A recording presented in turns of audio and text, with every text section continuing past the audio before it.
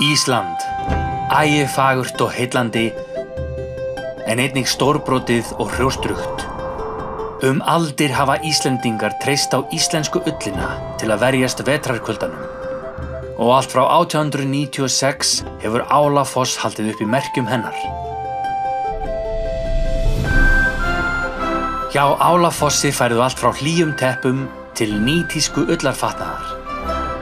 Allar lópapeysurnar í Álafoss eru handprjónaðar á Íslandi úr 100% íslenskri ull og eru sérmertar þeim sem prjónar peysuna.